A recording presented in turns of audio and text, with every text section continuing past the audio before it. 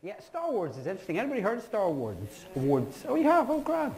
And the fascinating thing about Safewards, because just watching that brilliant thing this morning, is it was founded by a service user. Do people know that? A lady called Marion Janner, who has a personality disorder, who uh, actually did it because she got admitted to a ward. He came out thinking the staff were brilliant, but things could be better, and she founded Safewards. Uh, so she's the boss. My boss has a personality disorder.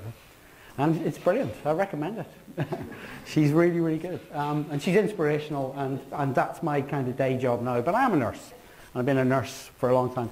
And although Liam would kind of big me up on the research, I would like to big, take me down a notch. I was part of a team of 15. I have no qualifications in research. And I was brought in because my interest is clinical, and I've got a lot of clinical expertise. So my bit of the research was to bring the kind of clinical nous into the team. Um, we'll talk about that in a minute. So um, first of all, just to say, because um, I will be kind of hoping to get some dialogue going at some points, is this is being recorded.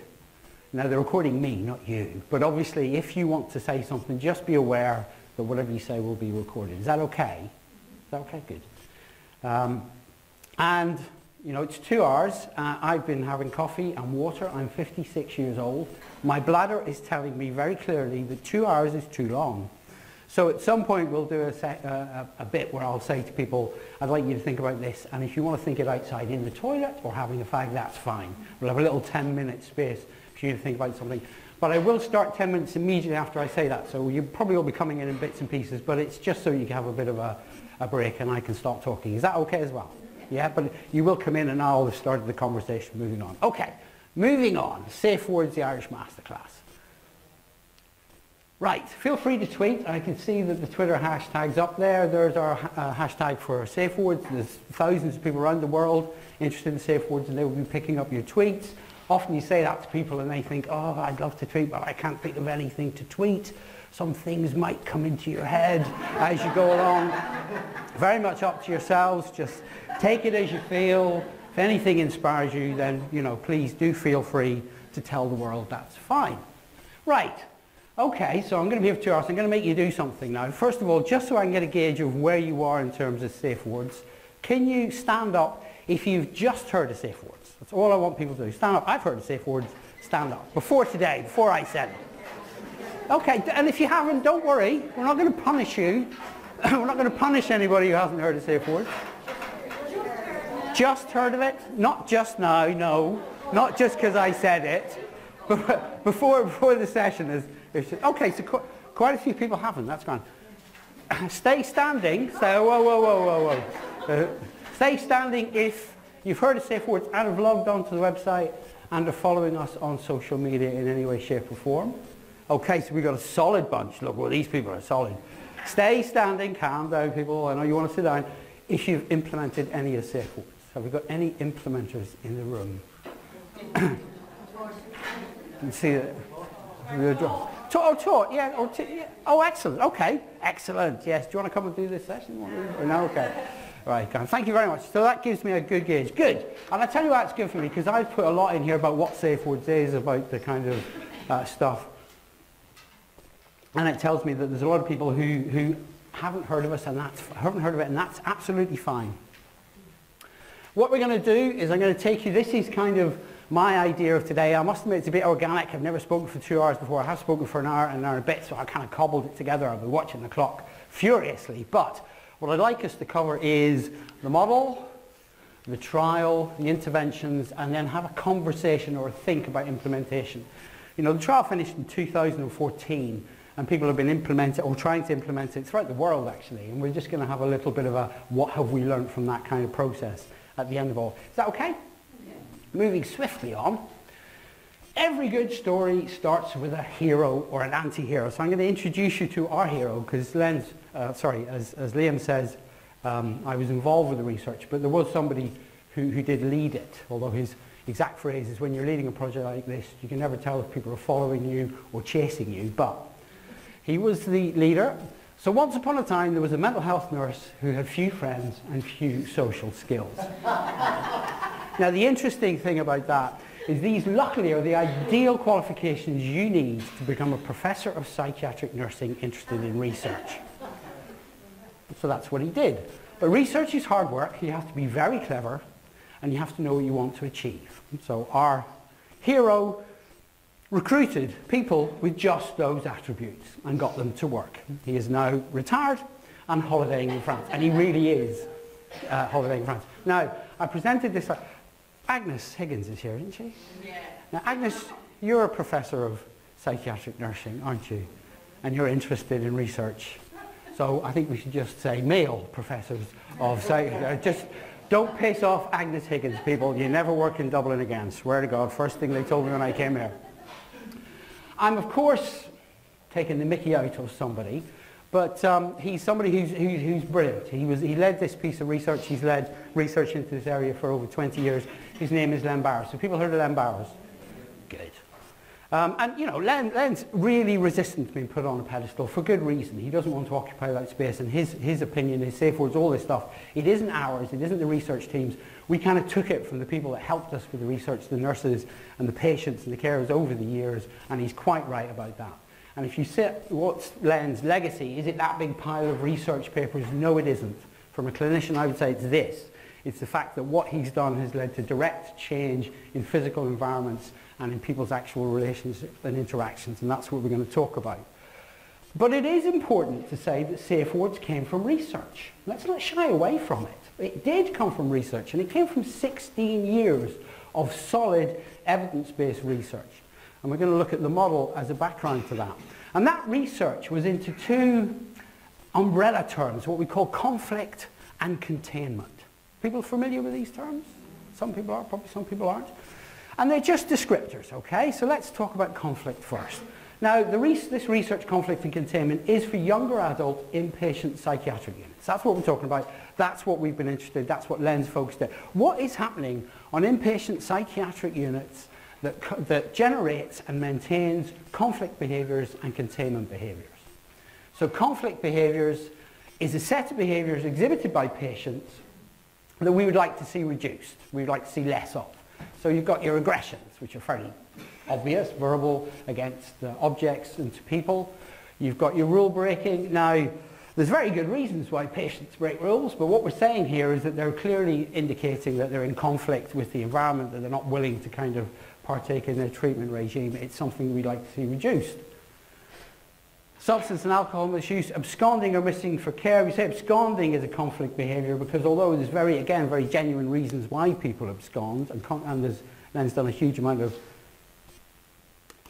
specific research around absconding, um, it does lead to people staying in hospital longer, actually getting more medication. It does lead to, to kind of uh, difficulties for them. So that's in the conflict as well. Medication refusal. Now, again, I think we saw from this morning, there's lots of reasons why people um, refuse their medication, but again, it's a sign that they're not buying into this kind of, um, this kind of co-produced care model, that they're, they're showing some kind of, uh, and the medication there is medication that's um, prescribed within a therapeutic range for a specific symptom. So your antipsychotics, your antidepressants kind of medications. And then self-harm and suicide, which I probably don't need to go into. Now, none of this is bad patient. Don't start thinking bad patient. This is just a set of behaviours that we're trying to understand. We're just trying to understand, analyse and see what's going on with them. But it's not just patients, it's me, it's you, I suspect most people in this room, it's us, it's the staff, it's what we do. There's a containment backlash to this, if you like. The extra medications, your PRN, your coerced iron medication, medication only given to sedate somebody because they're out of control. Yeah? that kind of, we need to get this control on the situation, let's give them some medication to kind of dampen things down. Special observations, that's observation where a nurse and the patient are, uh, where a nurse is allocated to a patient. There's general obs, people work on wards where you just go around and check everybody's all right and all that kind of stuff. They're good, we like them, don't get rid of them. There is ev separate evidence to say that they actually prevent suicides from going to completion, so don't get rid of them. What we're talking about here is where there's one nurse and one patient and you're following them around and they're going for a wee and you're thinking, oh God, should I go in with them or not? All that stuff, yeah? Sometimes there's two of you because he's really violent and two people, what the hell is that going to do? One can pick the other one's teeth up, who knows? Anyway, do you know what I mean? You get, you get the kind of idea. So it's special observation. Oh gosh, I've just jumped ahead. And you've got seclusion, which I probably don't know, need to go into. And it's interesting talking about traumatized care because, oh my God, I have a real thing about, you know, closed spaces. Seclusion is the thing that just sends the shivers down me. And manual restraint and timeout probably don't need to go into either. So these are another set. Don't hear bad stuff. Don't hear, oh God, we're terrible, we do all these things. Just hear a set of behaviours that, that happen. They do happen, don't they? Both of these. So we're looking to reduce them. What would be nice is if we had a world where these things were at the lowest possible rates they could ever be. Wouldn't that be lovely? And we're on a winner here. You know, staff do not wake up in the morning thinking, Jesus, I hope I get to see a bit of aggression because I really like secluding people. And if they do think that, they shouldn't be in the business. We all know that. And patients don't think, oh, do you know what? I'm going to go out and give a nurse a good slap because then I'll get some extra medication. You know, people do not think like that. That is not what is going on. Um, so these two sets of behaviours, we can be fairly certain that these two groups, the patients and the staff, would like to see reduced. Are you with me so far? Grand. So you're talking to me. That's great. Now, 16 years of looking at all that stuff, and just to kind of prove over um, a, I think it was 14 year period, 14 people over about six years looked at every single research paper in the world about those topics ever.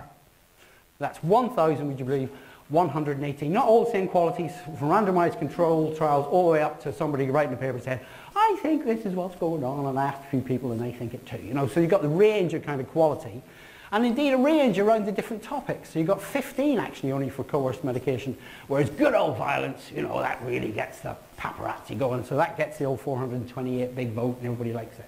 So you've got a range of stuff, but, um, you know, looking at conflict and containment, looking at all that, looking at Len's on research, at the start, or the precursor to Safewards, was we came up, or Len came up with, and we kind of agreed with him, because that's what you do with Len, because he's very clever, we kind of came up with this model, which we think does explain in very simple forms, this is the lay model, we'll go on to the complex model in a minute, what is actually happening to maintain these two uh, behaviours that we've just talked about. So you're all right with that? So this, if you like, from the Safewards model, this is the linear process by which we end up in the horrible place of conflict and containment. Originating domains, acute, inpatient, psychiatric wards are unique places. Unique places in the world. You know, they're full of people who basically, under definition, can't be treated in the community because they're so acutely unwell.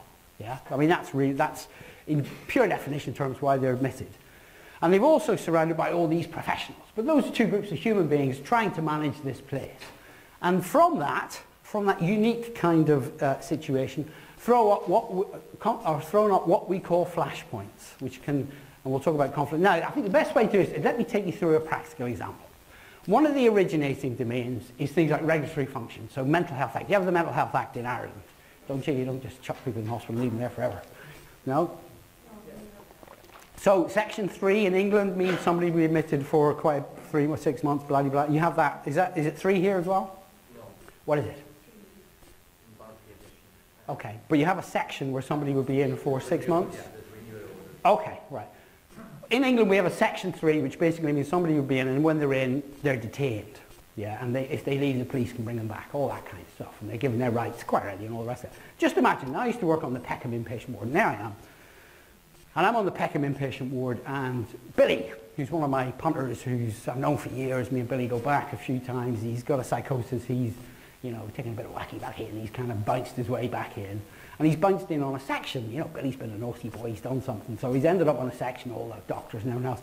But they've admitted him and they've gone away. And Billy's all right, he's very calm, he's not that agitated. So what we have originating in the main here is a regulatory function, there's the Mental Health Act. And what happens here for the flashpoint is Billy comes up to the office and there I am, and I open the door and Geoff, Billy goes, Geoff, Geoff, I'm glad it's you, I know you. Listen, they just admitted me, but I've got no facts. Let me off the ward for 10 minutes and I swear to God, cross my heart, I'll be back. Yeah? What do I do in that situation? Off you go, Billy. 10 minutes, no. The Mental Health Act, the originating domain, tells me I cannot, I'm going to have to deny that request. Yeah?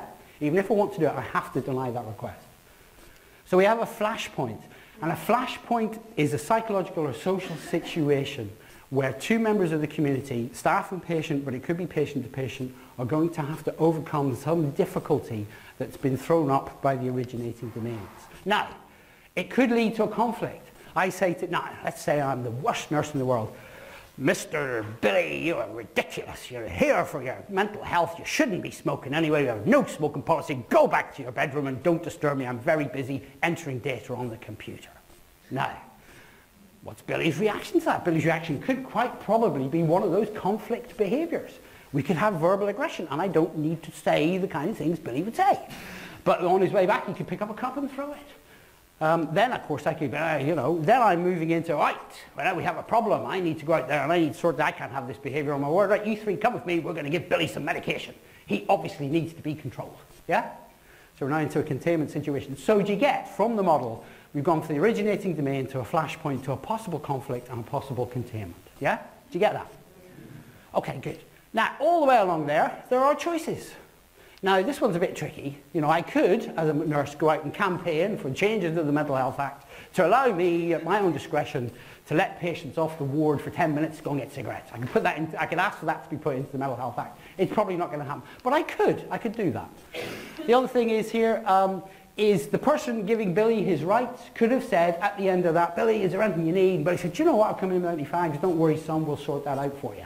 Then Billy wouldn't be at my door, would he? So that's something that could have happened to stop that flashpoint. Billy could have turned up at the door saying, Geoff, I know I'm on a section, I know I can't come anywhere, but I need some fags, can you organise it? Yeah, very different. Yeah, so Billy could have facilitated that change in the flashpoint.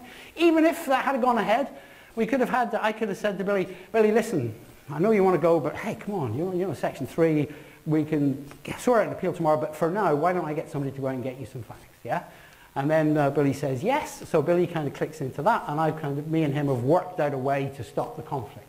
But even if there's a conflict, even if Billy sod you, bloody blah, blah, I can go after him and say, or somebody else could intervene and say, Billy, we're really sorry, you can see you're agitated, and we could de-escalate the situation, and it doesn't have to get to a containment situation. So even there, we make, can make a choice not to go to one of those containment behaviours. Does that all make sense? Excellent. Phew, that's grand. But that's the very, very simple model. Now, we'll come back to those two in a minute. But I want to ask you, just to kind of open up the originating domains, I've given you a flashpoint now. What sort of flashpoints happen on wards? What sort of, what sort of things throw up situations where people have to, have to kind of, you know, negotiate something?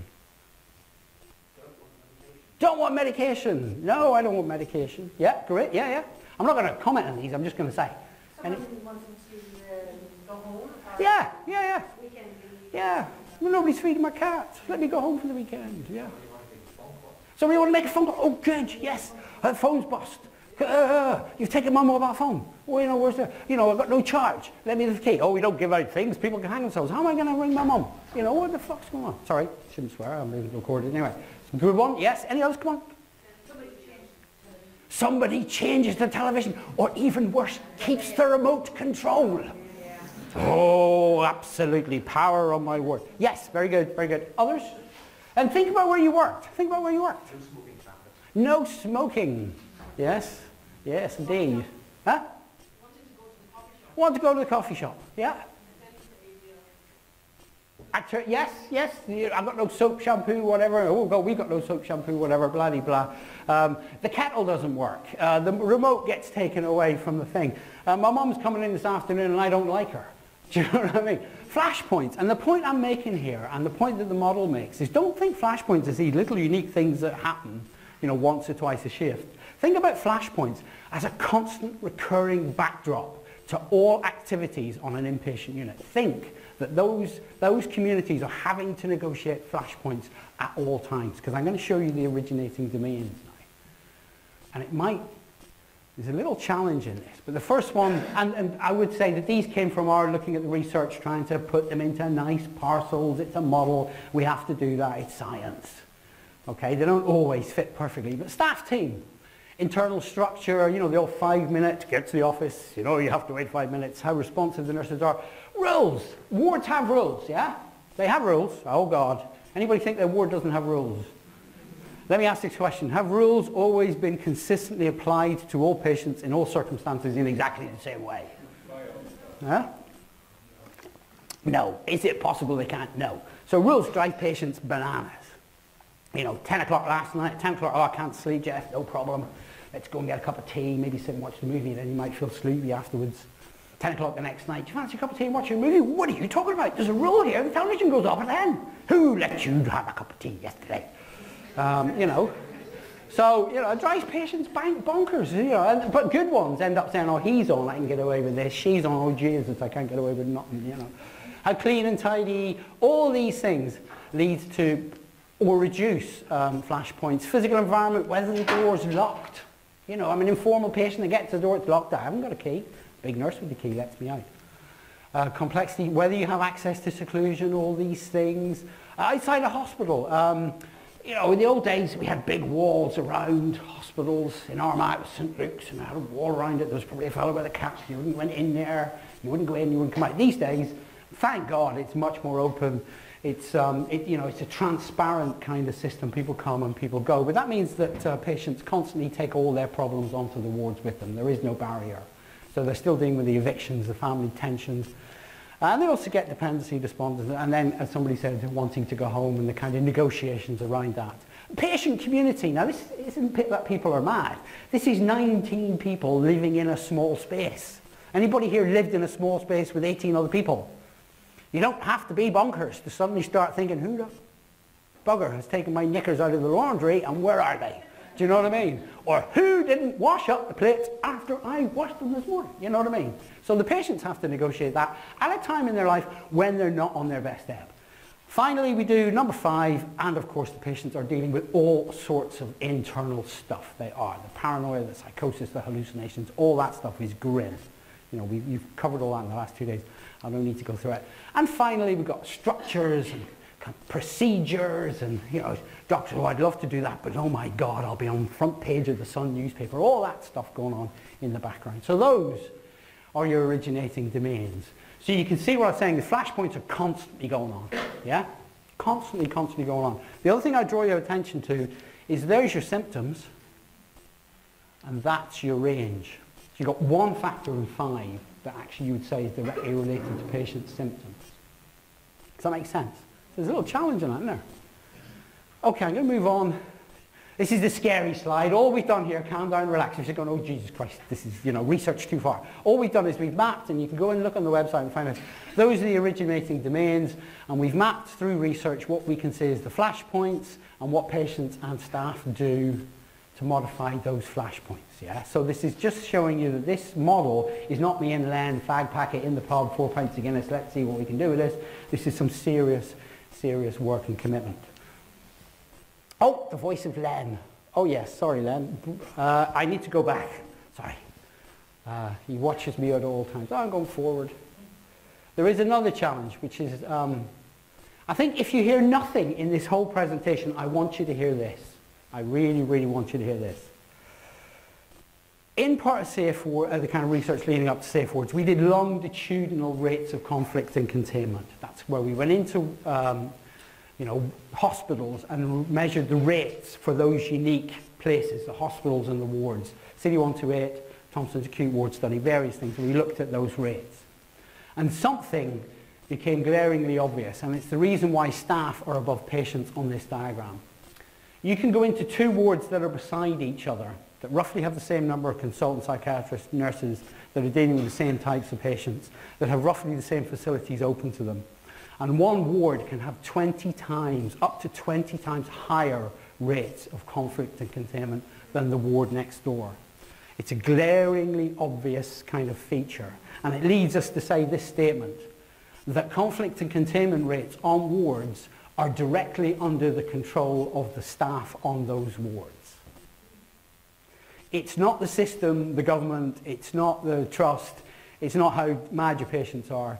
The people who can really make a difference to driving these rates down are the staff. And the nice bit about that is there's 20 times higher. There's also 20 times lower. There's also staff, and we can see there are things that people are doing that are driving down conflict and containment.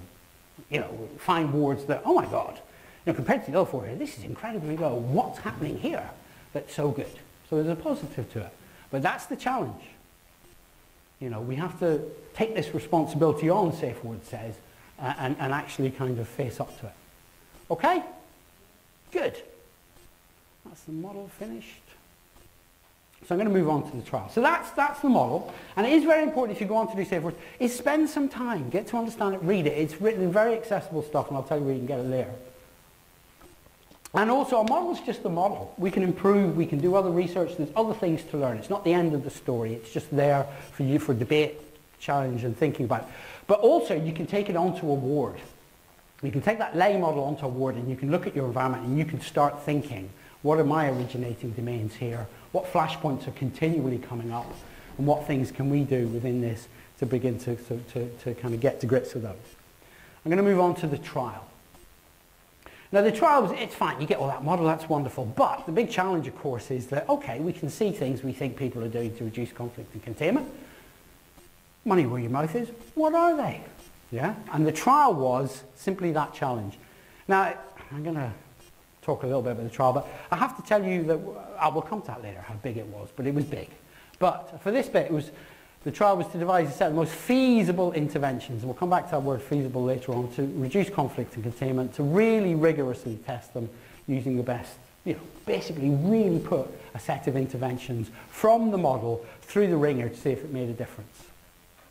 Now, what are the 10 interventions? Nobody knows. So the process, I think this is a bit like the way the Bible was written. You know, there was loads of books and then they got chucked out and there was an ecumenical council that decided on the Bible. This is roughly the same thing, yeah except the Ecumenical Council is a bunch of service users in Len. Um, but anyway, there was, so Len sat down with all the people who research said, generate any idea that will, we think from the model will reduce conflict and containment. And believe it or not, they came up with 298 ideas. There's loads of stuff out there to be considered, loads of things that people are already doing. So we're finding, you, you go to any war with 298 ideas and they'll show you the door because they're too busy. So refined it down to 30 and then we had a, East London owed us a favour so we borrowed four wards we put them through 16 kind of honed down interventions. And at the end of that process, they come back to it and said, oh, they're great, but we're knackered. 16's too many.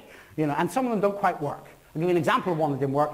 Medication. Somebody mentioned medication earlier on. You know, when you got the, the, not medication itself, but the experience of getting medication on a ward. You know, you turn up, the old days it was a hatch and you're in a big line and you took it and uh, a wee drink of water and off you went. Lovely, really encouraging. What we're saying is, let, can we make that experience from service users? What would make that experience? And it was like bigger cups. You know, when you go to Costa and it's your Primo, your bucket, and your mega bucket. You know, it's like different sizes and a range of drinks that people could have and a boiled sweet. A lot of people want something to take the taste off or just something else. So we had this nice intervention and alongside that because people are often saying what's this for why have I got this is a whole rack of really good leaflets that could be given at any moment to anybody who asked the question about side effects as well. So it's a combination of those. Lovely, lovely intervention, beautiful. When we did it in East London, however, we had a problem. The problem was, and I'll say this very quickly and move on, the nurses were also taking the drinks. We're moving on very, very. Please. And also, patients had certain favourites. So we had this situation on a Friday evening going, oh, we've run out of lime and elderflower cordial and, you know, it's Friday evening and the whole weekend's ahead of us. What are my people in Balham going to do? You know, or Hackney going to do? So we'd rush over there. And you can't do that. You know, this is kind of, so there's a resource issue there. You can't actually do that intervention. So reluctantly, because I really like that intervention, we took it out. Oh, so you can see that the process, we ended up with the 10. So the 10 we had going to trial had been road tested, we were happy with them. Wards had come back saying, yeah, yeah, they're okay. You know, let's give those a go then and see if they make a difference. Okay, do you want to see the 10 interventions? I'm hoping at this point you do. I'm looking at the clock. Yes, we're fine. The final intervention list, this is the 10 interventions. How many people looking at that know those? Hands up. Okay, so we've got a small number. Most people, these are kind of, okay, good, because I'm going to take you through them one by one. But in picture form, clear mutual expectations. Oh, oh yes. And I want you to think, as I go through these 10 interventions, I think, I want you to think and put yourself on a board. Which one do you like? You know, if, if, if you were, you know, emperor of the world, and you could pick one of these and just say, this is going to happen, which one would it be? Yeah? So which one is the one you like? I, mean, I don't care why you like it. You might like it because it looks fun. You might like it because it's, you know, just appeals to your particular philosophy or just something you'd like to do. It doesn't matter. Just what, why do you like it? Which one do you think, going back to Warden, you're no longer the emperor now, it's back to reality. Which one's the hardest? Which ones would you think a ward would struggle with or find quite difficult to do? And then cr- crucially, which one do you think the patients would like most? Yeah? And we'll, we'll come to that later on when we talk about implementation. But as I go through, just keep those three questions in your mind. And as we get to the end of these 10 interventions, then we can have a little break and you can reflect and then we'll come back and talk about it, okay? So, clear mutual expectations. I said that thing about rules and, I, and I'll leave that there because rules are difficult. But rules are probably necessary. There's very little we can do about them. Apart from trying to be more consistent in their application. But what if you move away from rules to a thing called expectations? I've been constantly talking about these two communities, the patient community and the staff community. Can we have a kind, a kind of a Bill of Rights or a, a kind of negotiated agreement between those two communities? God, I'm beginning to feel like Northern Irish peace process here, but you get my kind of picture. These two communities sitting down and working out what's our expectations of each other. And if they do that, then what we'll do is we'll take that and we'll put it up on the wall and say, this is the expectations on this ward of how staff and patients are going to interact. And students come on to ward will be told, this is your expectations of you as staff, agency staff as well. And patients, when they come on to ward and carers, they'll be said, look, you know, part of the induction package, this is the expectation that we've kind of worked out. And, you know, over a period of time, you can, you can re-look at it. I want to show you a real one. Oh, sorry. Uh, this is, I like this strapline. We're all human beings. That's very nice. I like that. Because we are.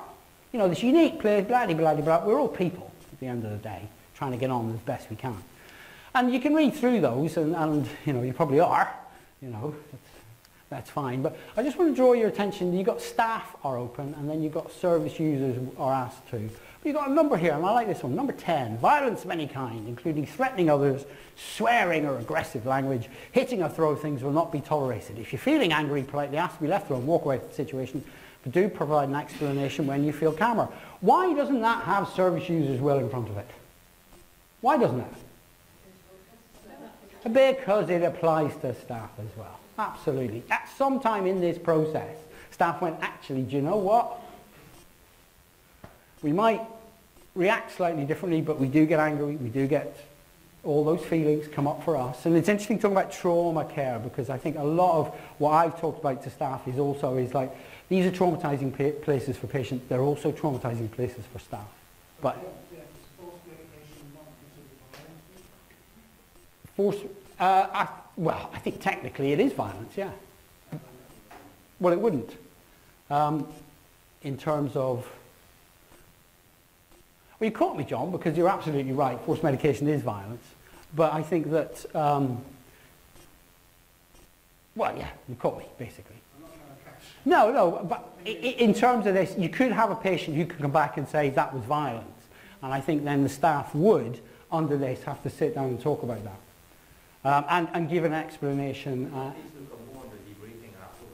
it is, but it would, yeah. But I think the, I think the expectations still stand. I think the expectations still stand. But I think that if a patient come up and said that, and the ward had that as their expectations, they would have to actually sit down and, and have a conversation about that. I think you've caught me because I don't know how they do that, and I can't say this is what they should do. Yeah. Mm.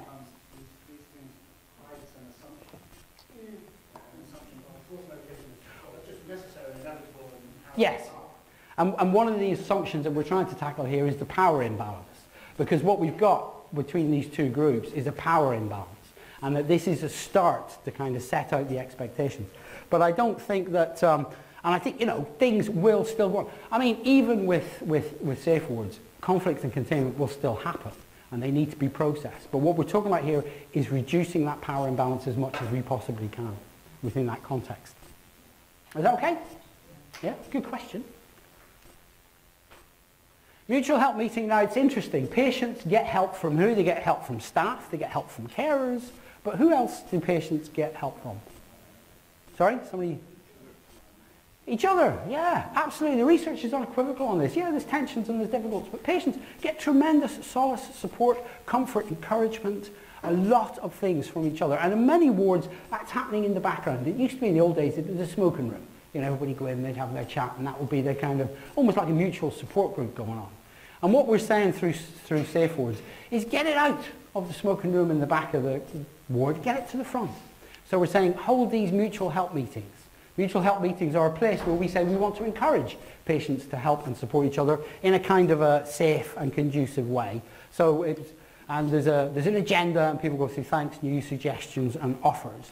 And I just wanted to let you read that, which is a view of uh, uh, Avon and Wiltshire posted on their website after I think one of their non-executive directors or somebody went round and, and attended one.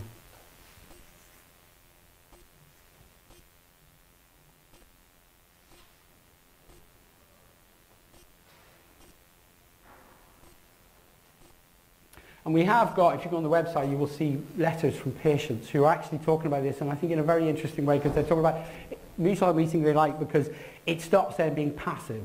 This is something that they feel they can actively contribute, and also in that, you start to challenge staff a little bit about some of the kind of things that they can take over on the ward.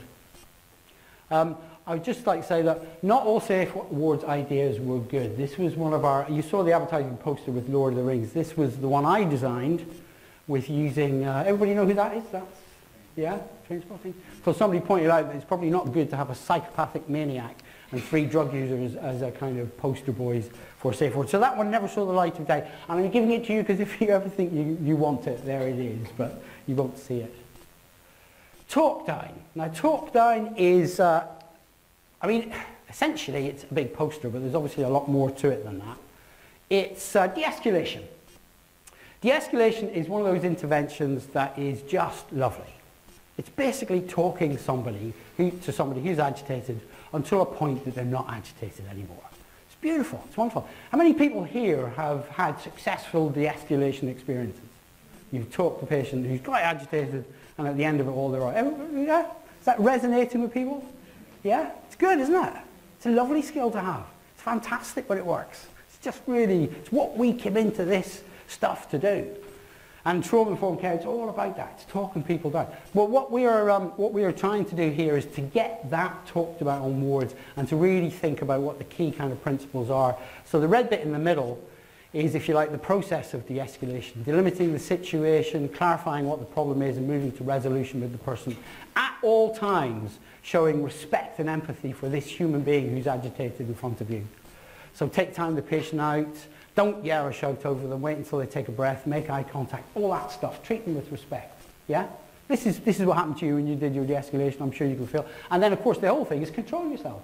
You know, not be nervous, not be anxious, not go to kind of fight or flight mechanisms, to stay calm in the moment, to believe and hope that you and your patient can resolve this, this sort situation. De-escalation, there's other research, it does work. It doesn't work in every circumstance, uh, obviously. Uh, we don't live in an ideal world, but it's a beautiful intervention. And Safeward says we want it, to, again, to be highlighted. And we have champions for all the interventions, but for this one, we ask the ward, and particularly the patient and staff group, to think who on the ward is the best de-escalator among the staff. And that person will champion this intervention because everybody will believe that they are valid to do so. So this is the person with those skills. You know, if a patient's agitated, it's a person they would really want to come and try and help them think through it. Yeah? So that's de-escalate, that's talk down tips. A lot of people object to the word talk down tips, sorry, um, but we're stuck with it on the poster. But if you, uh, yes, but that's roughly what it is. Soft words. Uh, soft words is an interesting intervention. Soft words is, um, essentially it's an aid memoir to communication. Uh, nurses and staff on wards, we don't need to educate them in terms of, of how to, to communicate with people in agitated situations. But there is a kind of thing that we, it's not a bad idea to remind them uh, um, about kind of good models of communication. So soft words is, uh, uh, again, something that goes up on the ward. It's visual. People kind of can see it. Uh, and I'll probably best explain it as, as if, let's do it kind of physically.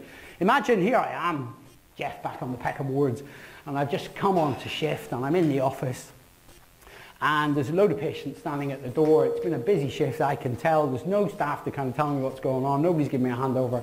And I'm thinking, oh dear. You know that feeling when you go into work thinking, oh dear, this doesn't look good. And suddenly there's a patient banging on the door. Or I'm going over to answer them. And I see this. And it says to me, if I want to read it, or it's there, be flexible. Talk about any task you want a patient to do. Explore the patient's point of view so they can feel heard and valued. And so the timing and precise content of the task can be adjusted to suit their wishes. Understand the blocking finders and find workaround and compromises. And there's 300 such kind of little pieces of advice. And the idea in that is, in the moment, is to just remind people about what, how, you know, what good communication looks like, particularly if people were agitated. And there's three particular kind of themes that we've gone with. Is asking a patient to do something, asking a patient to stop doing something, um, and asking a patient to do something that they don't particularly want to do. And this is, we're not saying telling them, we're saying asking. So these are going into those situations that you have to do that. So this is asking somebody to do something they want to. And it's just reminders of good communication. Again, as I said, we don't believe we need to retrain nurses. We just need to remind them in the kind of heat of the moment that this is stuff they already know. It comes along with other things. This is saying no postcard, and the champions are to use these on the ward as they wish, to kind of have a, you know, talk about them and hand over, to have a think about them. Are we doing this? After a debrief, maybe is, you know, was some of the things that we didn't do this quite well. My favourite one of those, however, is don't do it this way. Because I think if we are going to talk about good communication, we have to be honest and say there's, a, there's stuff that's pretty naff and pretty toxic. You know, um, folding my arms, looking down, you know, wagging my finger, wearing a frown. It's a poem, but it kind of captures all the stuff that, uh, and you know, I mean, I was a nurse for 30 years. Did I do any of this stuff? Of course I did. Of course I did. There were moments in my career when I wasn't the best nurse I could possibly be, where I was under stress, whatever, and I would resort to some of this. People recognize that? Yeah. The point is, is not to kind of, if I'd had one of the days, not for the champion to stick that in my letterbox or on my home to say, you're a crap nurse. It's not that. It's to just, if you see this stuff going on on the ward, if you see, you know, your good, honest to God staff nurse who's normally on top of the game doing this stuff, go out and rescue them. Go out and apologise to the patient. Go out and just get in the way. You know, this is communication we don't want to see. We need to name it. We need to say, you know, we're not going to say somebody is, is, is terrible when they do this stuff, but this stuff happens and we need to try and find ways to kind of reduce it as much as possible. So soft words does have a little bit of a hard edge. Right, know each other. Uh, just look at the time. Know each other. This is um, an icebreaker. We ask staff uh, and indeed patients to complete a sheet of information that they would feel comfortable in communicating with other people or other people knowing so they could start a conversation and it ends up in a folder and that folder must be in the public patient domain. So it would stay in the lounge so the patients can freely access it. And uh, this is kind of demo examples. This is mine for when we did it. I had this title of nurse tutor in psychosis at the time because I was also doing some education around uh, psychosis, uh, particularly symptoms. So this is my that I filled in. You can see I support Charlton Athletic. You know, we just got relegated this year. Yeah, thank you, thank you very much. Okay, I don't have to be reminded that we got relegated. anyway, um, so, you know, that's mine. Uh, Blade Runner, absolutely best film by a mile. Anybody disagrees, I'll take them outside right now. So anyway, this is Len's. Um, I think uh, there is one, you know, I, I, you can tell I quite like poking fun at Len because he can take it and he's a good man. But I love this bit, is, uh, where is it? Previous jobs road sweeper in Westminster. When he said that, I said, road sweeper in Westminster, professor of psychiatric nursing. God, how you've gone down in career, Len. Yeah. So that's Len's, but of course the bit missing bit is clients. We are really encouraging this community to start opening up in terms of humanness, and we want clients to fill these in as well. A lot of kind of wards have the staff ones, but we get a bit stuck, and we're saying, well, you know, this intervention is about an inclusive community kind of thing, so get clients good doing it as well. Discharge messages, this is another one patient to patient. We ask patients at the point of discharge to let, leave a message of hope and support for other patients, people coming in that, that, that would help them kind of get through their journey of the admission. It's horrible being admitted to a psychiatric unit. It is absolutely awful. Uh, people, it's, it's, it's just a horrible experience. And this is some way in which you know, we are asking people at the end of that to, to reflect back and think what would have, could have helped me in that horrible moment if I, had, if I was able to read them and absorb them, to, to think through and, and have a message from somebody else who's been on the same journey. Um, this is what happens with, when you look on the website, you'll see all sorts of variations. Any OT, there is no OTs in the room, but just any OTs here. This is what happens when OTs get their hand on things. They go painting walls and doing murals, uh, which is great, lovely. And making little leaves with the discharge messages on. This is a PICU who said, oh, we can't do that. They'll all be destructive and destroying. And so we end up putting them behind glass for them. And this is also a PICU. And, and the only reason I put this up is I used to have a big fight with these. People used to write essays, which is fine. But that's a rubbish bin. which I constantly take away, and they constantly put it back. And we'll look at that when we come to think about resistance later on. So that's discharge messages. My favourite discharge message, which is probably taken from somewhere, is life is a difficult road, we may as well all walk it together. But I thought the, the cheekiest one I ever saw was uh, free bed, free board, free drugs, what more could you ask for? um, I'm wondering if the drugs were prescribed, but you know, but it was a discharge message, it was put up, you know. Um, I think that's fine, you know, that's grand. A lot of times this interventions you get thank yous to staff. You know, the staff here are wonderful. That's not actually a discharge message, it's a thank you to staff. And we encourage people to have a thank you board as well in the office so those can go on. But this has to be a message of hope and support to the patient group, to the patients. Calm down methods, this is sometimes called the alternative to PRN. I don't like that because it kind of pins it against medication. It's something much bigger than that.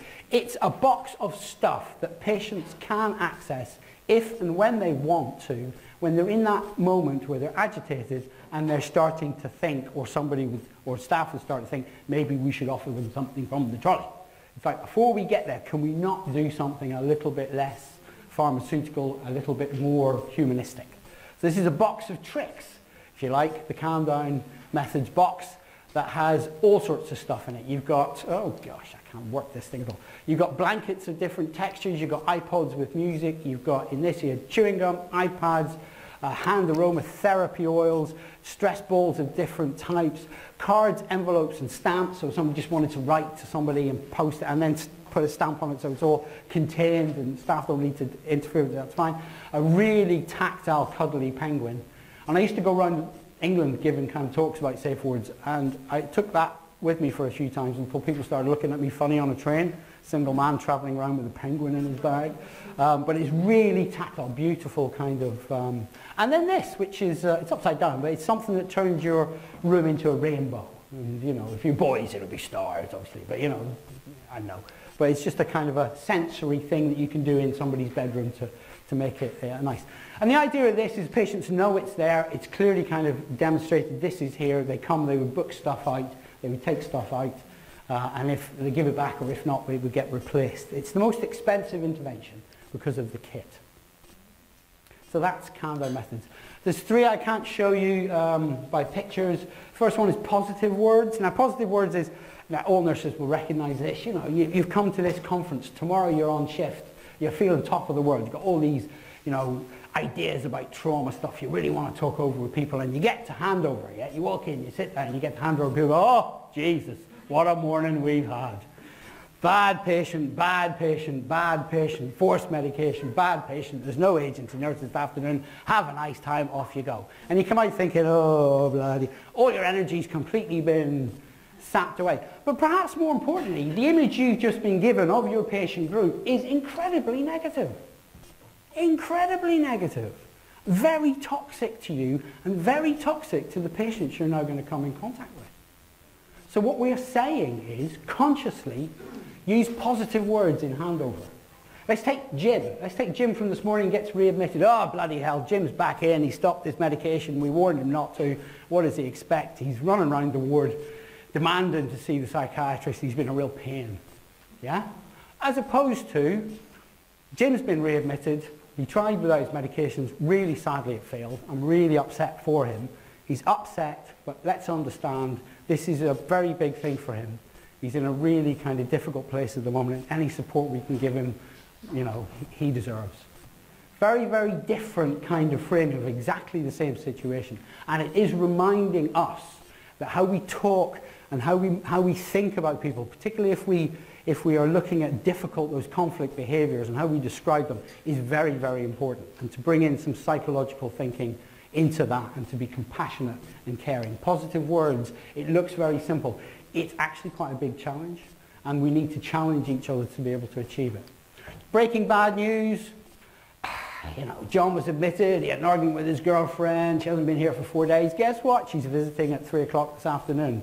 Half past three, John's running around the place, smashing all the windows. I wonder why that happened. Or let's say, um, you know, the ward round was this morning. Jack wanted to go out on leave. Consultant psychiatrist decided it's a bit much of a risk. Junior doctor's just about to go in and tell him now, oh my God, the junior doctor's just flown out of that room and is not here. Whoa, how did that happen? Bad news. Bad news for patients.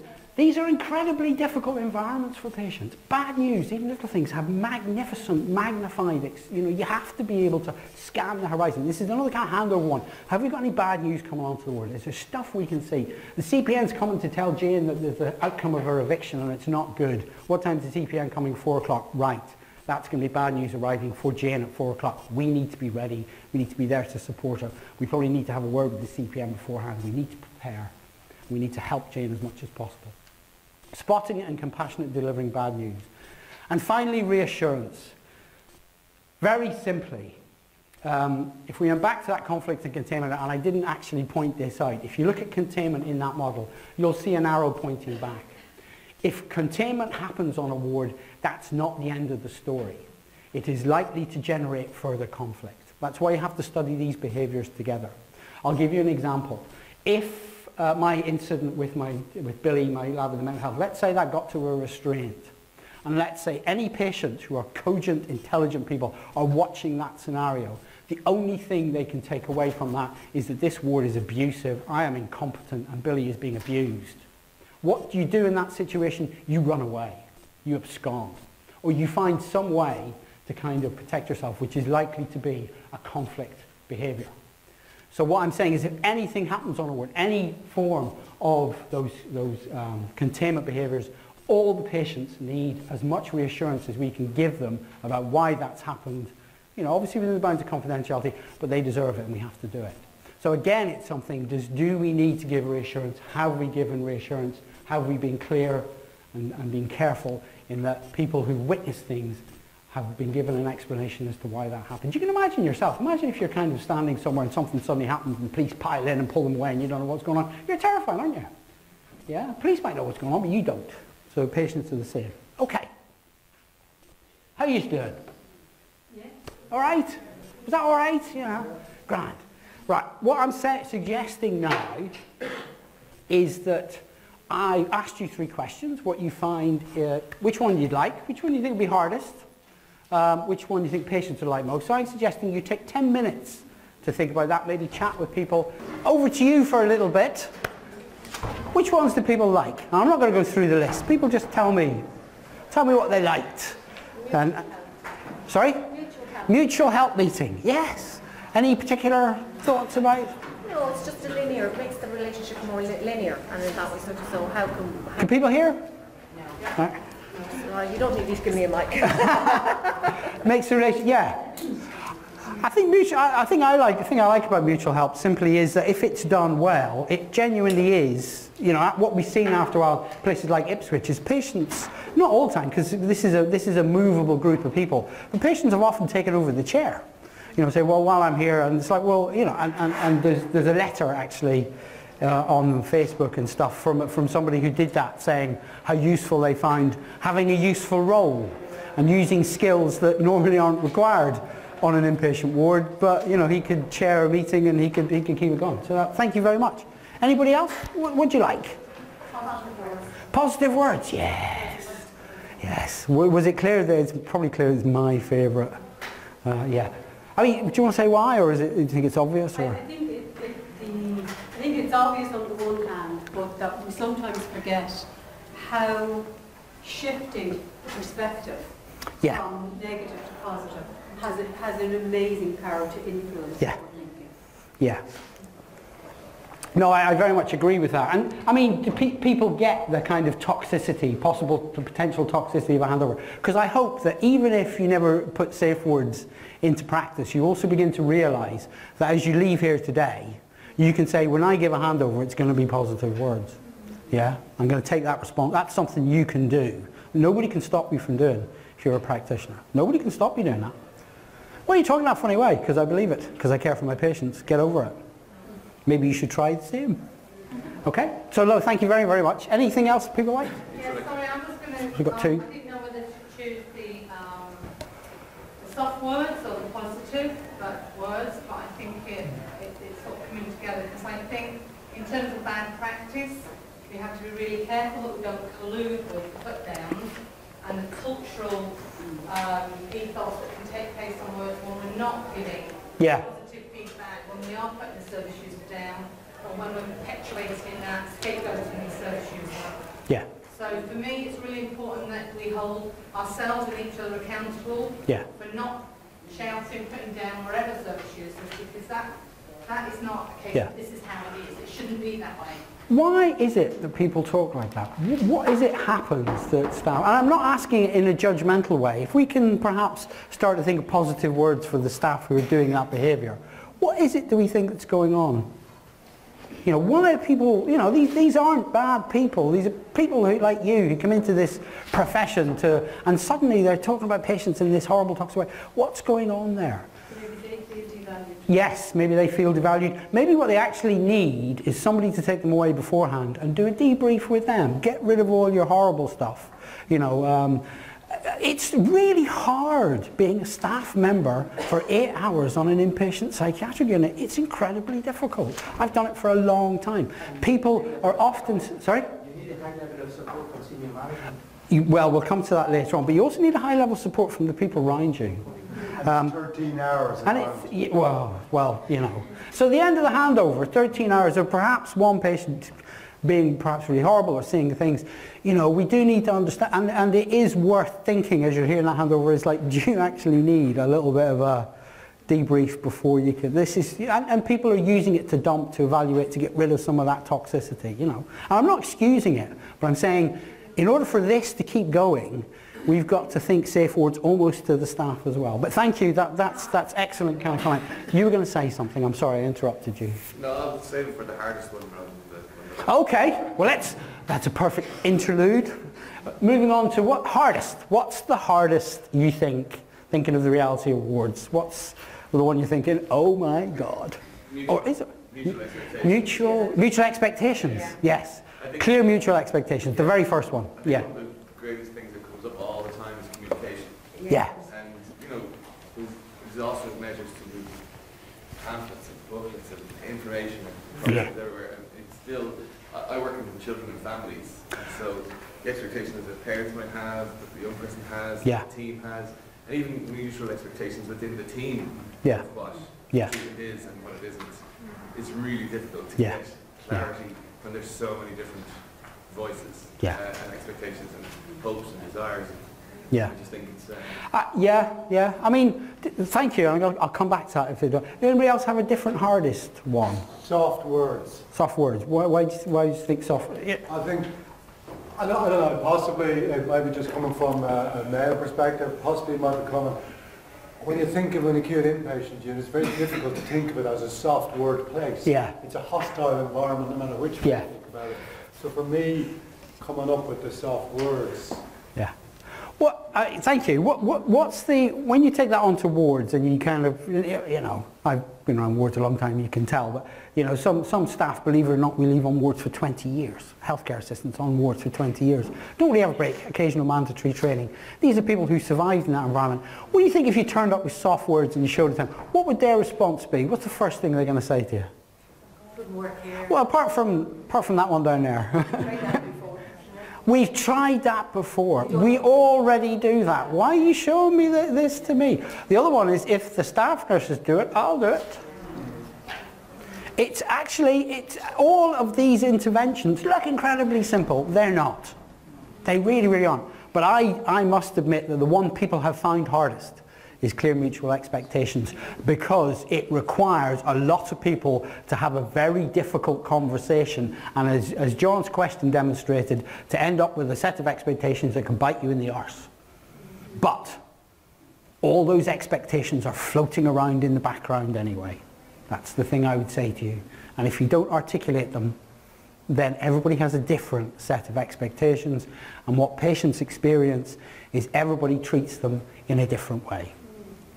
Forget rules, it still happens just in their general interaction. So, I, but I think it is the hardest, and possibly the one that doesn't, you know, it, it's possibly when people do it and say, oh, thank God that's done, you, it's the one you need to come back to and check and, you know, and, and clarify and everything else. So you can get that these, they're all actually hard. I think the, um, the calm down methods, the box with all the stuff in it, I mean, I think if someone's in a height of distress and you're offering them a squishy penguin, you could seem like you're Well, you know, timing is minimizing everything. or infantilizing. Absolutely. You know, I think Yes. an adult in the acute ward, I can imagine it maybe not being Yeah. What's your name? I know. Siobhan. Very good point. And you've reminded me, and I hope I said in the present, it's the patients need to know it's there. You know, if you've got somebody going, I want to go home, and I want to go home now, and you go, we've got this nice box of stuff, and they go, stuff you, I want to, yes, patients need to know it's there. But can they decide what goes into it? Because Yes. I think that's important. Yes, I mean, for the trial, we, we, we, we did one. But what people have done, if you go on, when we'll go onto the Facebook and uh, people have chosen on what are women like, what are kids like, tangles, panties, anyway, um, the self, and some places have gone for self-soothe boxes where everybody gets their own, and people have played around with it, and that's quite fine. People choose, you know, what boys want, electrics, and, you know, sort of stars, not going to have rainbows. But, you know, there's an interesting story of a man who used the penguin, well, I won't, have I got time? I'll probably have. PICU, there was a PICU, they had this calm down box, this guy was admitted, didn't want to talk to anybody, just went to his room, shut himself off. Obviously really angry about being there, possibly justified, whatever. After about six hours he came out and they'd shown him around and said, we're doing this project, this is the calm down box if you need, blah, blah, blah. After six hours he came out, went to the office and said, I want the penguin. And they went, okay, do you mind signing out? He said, yeah, sign out. And then half an hour later he came and said, knocked on the door and said, come here. And they all went down and he, the penguin was standing in the room, hung, swinging, and he said, that's how I feel. Now, you know, it's not what the calm down box was intended for, but it's interesting. But he knew that box was there. That's the crucial part of that story. When he'd gone round, didn't, uh, he's not communicating with us, he's completely closed off. He clocked that that was there and he clocked it was for his use. So I would say, although the penguin got hung, and there's a ligature point they probably need to have a wee look at, but beyond that, how the patient uses it to help themselves is, is themselves. Do you see, see the point I'm making? Um, it can't, yeah, it, I mean, it's the most expensive, and also what goes into the box. Bubble wrap is a thing that people, you know, bubble wrap, sitting down doing a bubble. There's, there's really cheap things you can do that people kind of, which are easy to replace. The biggest thing with um, mutual help meetings is the stuff going missing, particularly the iPods, uh, looking after them. Anyway, which one do you think, and this is awful because we're thinking for patients, actually if there's, if there's any people who've been patients, please tell me, you know, which one appeals to you the most, but which one do patients, do you think, do you think patients would like the most? Mutual help.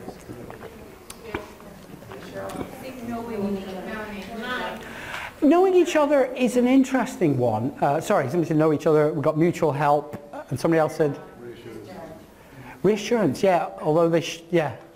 Discharge messages, yeah. I think that, you know, the two kind of glaringly ones, uh, and we'll come to this when we come to implementation, because, you, you know, you, I mean, I'll tell you now, you can't implement all those 10 at once. You can't on your word tomorrow and say, we're going to do 10 things straight away. You need to choose, you need to be selective, you need to think about how you're going to do that. And thinking of the ones, sometimes it's often what do the staff want? But it is worthwhile thinking what would the patients want? Or if we went out and said to them, why don't you choose one of these things and tell us what you want to do? It's, and we'll come to that later when we talk about implementation. So it is worth thinking what resonates with patients. And the two that patients see the most are discharge messages and mutual help meeting. But they do see know each other as well. Um, but know each other has some resistance among the staff group, which we'll probably come to later on. Okay. Any other, any other, anybody dying to say, oh, I really wanted to say this point? No? I think one of the, challenges in the peer meeting patients across is that a lot of times we, we think in the context of the people who use the services, the patients and services. Yeah. But the big challenge is for, for me and for uh, when I work, is that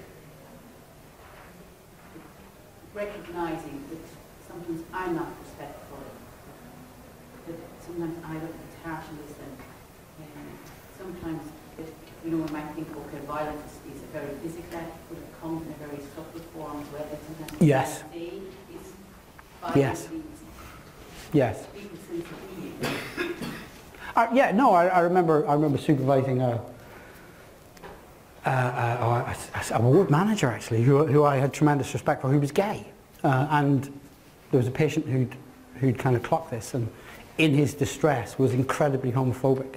And he was saying, I really like this patient. And, you know, and we had a whole session on. And, but I think what we're hitting here, and it is important, is that what this also brings up in implementation is a lot of hidden stuff for staff a lot of hidden stuff for staff. It really challenges staff because let me tell you this, none of you need trained in, to do any of those interventions. You can't hide behind, I haven't got the certificate, can you? Nobody needs to train you in that. Nobody. You know, you've got these skills. These skills are out there. These, they, a lot of you do some of these things. I mean, you need to tweak them, but you do. You don't need training. But when we try and implement them, it is hard. And it does often bring up stuff for staff about their powerlessness, about how they perhaps want to power share more with patients, but are hindered by this whole organ. And, and, and it's important as you, you know, as Safewards gets implemented, to hold on to those things. We're looking at reducing conflict and containment. And in reality, it means addressing it with this community in a way that's sympathetic to both. Okay, I'm going to move on now because I'm, I've, is that okay? You've only half an hour. How are you doing anyway? Is it all right? You've only got half an hour to go, honest to God. Then I'll let you go, I swear. Liam will stop me anyway. Okay. I'm going to just... Now, I took out all the trial stuff because, you know, I figured this is such an intelligent audience. You probably read the research papers. You know all the kind of the machinations of the active control and the, the you know. So I'll just give you the flavour just to remind yourselves. You know all this. It's fine just to prove that we did, we did a trial, we did a single blind, we, we had another intervention. We did an active control. So we had those 10 interventions and we had an active control. The active control was uh, make the staff feel fitter. So they had one, we had 15 hospitals, we had uh, half the wards doing the 10 interventions and half of them eating fruit and walking around the ward with a pedometer, pedometer challenge, and they got money if they were the best pedometer walker. So everybody cheated, as you know. That's what nurses do, give it to the domestic who walks there further than anybody. We all know that, all that kind of stuff. So that was the kind of the control. The reason we did an active control is psychological interventions have often been criticised, rightly or wrongly, because they don't have an active control to induce what's called the experimental effect. I'm just saying all that because we did all that and it's still, the results were still the same. Anyway, so we did a single blind cluster randomized control trial, uh, 15 hospitals, 31 wards, randomly selected, eight week baseline, eight week implementation, eight week outcome. Now, I'm saying that because eight week implementation, hear that for the research, never do it. Never do it. You cannot put a ward through 10 interventions in eight weeks. That's almost cruel. We did it for the research because, hey, we were paid. But I can tell you now as a clinician, if you're implementing this, forget eight weeks. Forget that. Put that out of your head. But that was for the research. So it was eight weeks just measuring conflict and containment, eight weeks kind of introducing the things, and then eight weeks at the end, outcome, what was that? At the end of eight weeks, we only had about 40% of the interventions up and running. Hey, no surprise there, really. We had a big argument. All the nurses are very lazy. I was going, Jesus, you're lucky to get 40% in eight weeks. Because these were working stiffs. There was nothing different about these wards and we just picked wards that were randomly picked from trusts that wanted to do it. One ward had a fire. People had, you know, we had, um, we had, we had all the kind of human actions going on. And we measured it through conflict and containment. And guess what? It worked. If it hadn't worked, I'd like to think I'd still be standing here talking to you. But let's face it, that kind of helps, doesn't it, really? Nice bit of evidence. Nice numbers. Look at those lovely numbers. He's talked about Evans all the way through and at last he's given us numbers. There you go, conflict, bloody, bloody, bloody, bloody, blah. It's all there, you can read it if you're a... And it is deeply interesting, it's very important we did it well. I'm being slightly kind of dismissive but when anybody comes, oh yes, Mr. Brennan, I know you want to change inpatient wards, but is it evidence-based? You can say, right up your ass. This is the best evidence you'll ever get. It cost millions of pounds. It was 31 wards. It was hundreds of staff. It was thousands of pieces of data. It was two separate statisticians looking at everything that could be wrong with those stats who come up with the end of it and said, no, those 10, interven 10 interventions do reduce conflict and containment. There's no contestion of that in this research. Rep- there's one replication study, Manchester tried to do it, they only got 26% of the, of the, of the uh, fidelity, they only got 26% up and running and it didn't have an effect. So that Safewards intervention did not have an effect. And I think that's important because if you don't do all 10 interventions, you don't get the effect. Or if you don't at least engage with it in that kind of sense, in the sense I'm talking about, you don't get the effect. You can't pretend. You can pretend to yourself, that's fine, I got no problem with that, but you can't pretend you're actually trying to drive it down. Does that make sense? Yeah? So, Nice numbers. so it's the composite of all 10 that brings the results, We, we have no idea, in all honesty. All I can say is we tested all 10. In the same way as the conflict and containment measures, if you take them out separately and look at them, they look one way. You put them all together. I mean, I'll give you an example. We lock doors. Do you lock doors here? Mm-hmm. Yeah? Do you lock doors to reduce absconding? Yeah? Would you say it's one of the reasons? Does it reduce absconding rates? No. It does, actually. Is that the end of the story? No. There's three conflict behaviours that increase. What conflict behaviours increase? Self-harm, refusal of medication, and violence.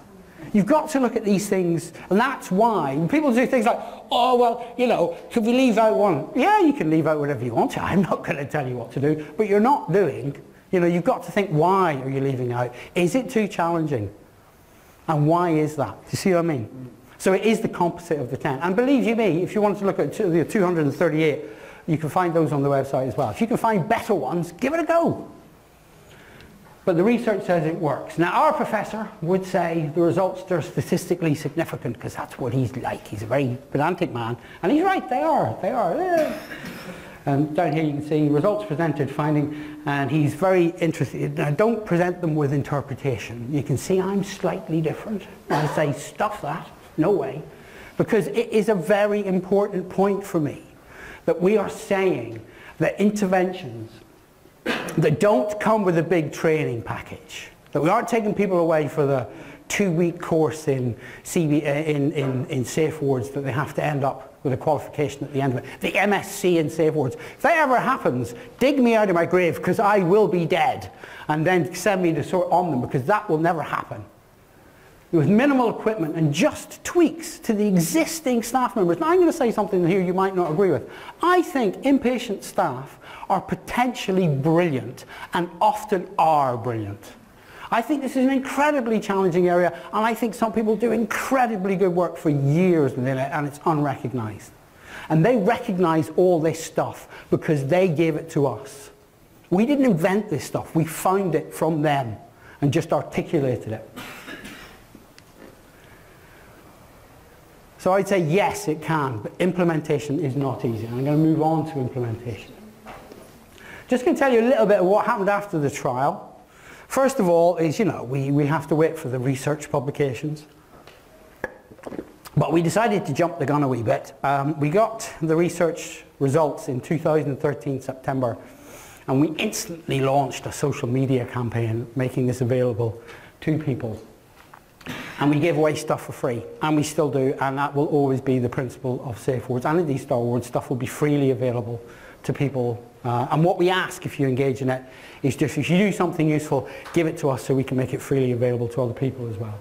And people did start a conversation. There's a story. In December, we did the results, and I think it was one of the early presentations, Manchester asked me to go up at that time I was going up telling people about it and I went to do this kind of presentation except a lot shorter uh, in Manchester and the director of nursing was there and at the end of it all she said oh Geoff you know she's, she's a lovely woman but she was you could see her in that oh my god this is quite challenging but it's really good and you know we haven't really so you did that you know kind of buying time. She was going yeah Geoff fantastic and she really is a nice woman. She said but you know what we'll do is we'll take this to one of our committees and we'll probably put a working party together and you know we'll, we'll move it forward through the kind of does everybody agree with that? And then his hand went up at the back and this ward manager stood up and said actually I'm doing it. I've introduced it onto the ward and I'm my intention is to go through all 10 interventions as a ward manager. And what that said to me, I mean, it was brilliant, is that ward manager, who is great, and you'll see her later, you'll see the kind of pictures of her ward later on, you don't need permission to do this stuff. It's your ward, it's your patients, it's your environment.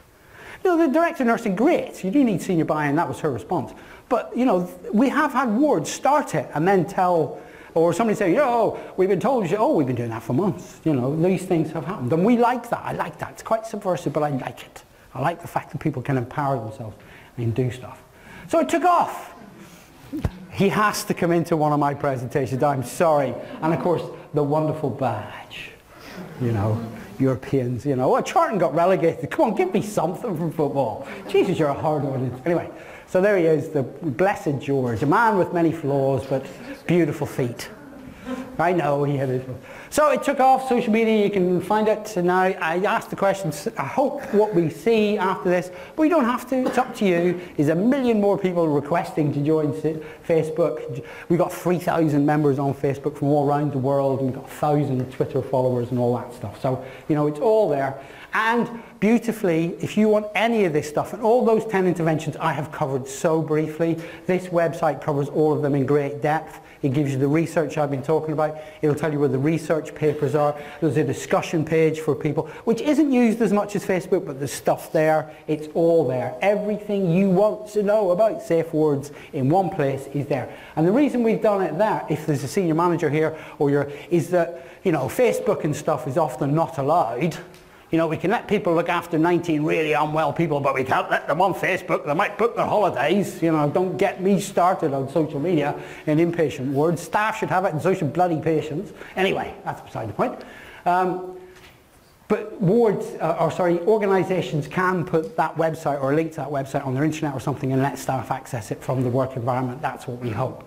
And what you will see there is the model the interventions. managers, almost like they're a separate breed of people, isn't it? And they're not. Managers are really bloody important. Managers support this. But that is for the managers to go to their trust board and say, here's the evidence, all the rest of it. That's, this is the stuff I need to do to satisfy that audience. Yeah? Because they are important people. They do need that. And believe you me, we've had nothing but support from managers.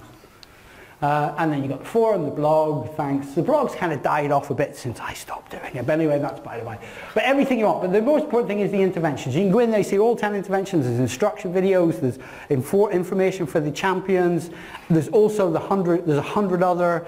There's the ones we tried in the trial and why we kind of dropped them, the reasons. Everything is there. We are trying to be as transparent, as open, as honest as possible and hand it over to people and say, this now is yours. Do, you know, do, do what you'd like. And if you just happen to be, I see there's a few foreign people. I don't know if there's anybody from Germany here. Anybody German? You can read it in German if you like. Anybody from Turkey? It's in Turkish. It's in Dutch. It's in now that one's Finland. I'm fairly sure that's Norway. We are, you know, we're constantly we, we have a French kind of the model is done in French. It's wonderful, you know, toile and all this kind of stuff. Um, but we haven't actually got the, all the pages. These are the languages we've got all the pages. And I would say about that is that these are all translated by working staffs in addition to their ordinary job. We didn't pay for any of this stuff. This is like Roland van der Sar in Denmark, did, in Holland, did the, um, the day, you know, the, you know, thank you, Roland. But nobody asked him to. He didn't get paid for it. He just did it because he likes it. He said, this is great. We're going to do it in Holland. Damn, I need to translate the website. So he did. Okay, moving to the final stages. Oh my goodness, it's five past one. Implementation. Okay, I've, I said all the way through the implementation is hard, and I do want us to think about, I mean, let me ask you a question. Would you like to, if you had, you know, if you're working on wards or perhaps some of you in the community, but if you were, would you like to implement Safewards? Please God say yes. Because, you know, my whole, my whole reason to be here is to say, look, this is great, it's easy, but it's hard, and it's wonderful, and it's challenging, and all that stuff. But, you know, get enthusiastic about it.